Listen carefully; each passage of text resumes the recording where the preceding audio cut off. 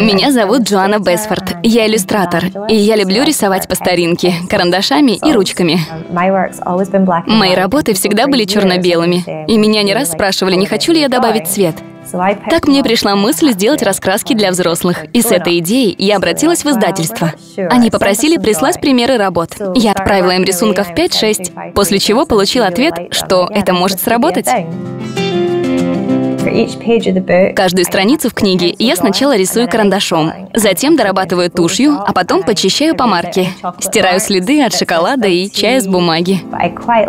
Мне очень нравятся неидеальные окружности, когда они нарисованы от руки.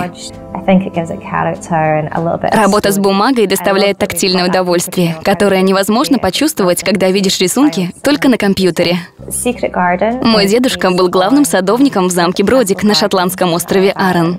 Возделанный его руками сад стал прообразом для таинственного сада. Там были замечательные водяные лилии, маленькие домики, скрытые среди деревьев. В общем, классический сад, в котором полно мест, где можно играть и обнаруживать что-то новое. Зачарованный лес тоже навеян природой острова Аран. В лесу за домом моих бабушки и дедушки было еще интереснее и загадочней. Воображению было где развернуться. Мы представляли мифических существ, прячущихся в зарослях.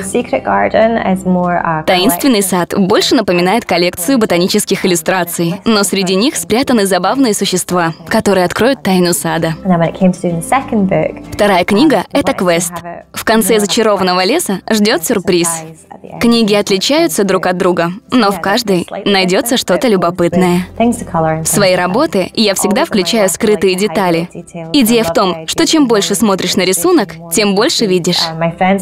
Друзья и родные постоянно просят спрячь в рисунке что-нибудь для меня. Так в таинственном саду для своего мужа я спрятала акулу. А в зачарованном лесу полно пингвинов, посвященных нашему другу. Так что в обеих книгах есть немало неожиданного. В свое время я получила совет от коммерчески подкованных людей, что если я добавлю цвет в свое портфолио, то получу больше заказов, с чем я полностью не согласна. Монохромные иллюстрации — это моя визитная карточка, мой собственный стиль, и я хочу работать в черно-белой гамме.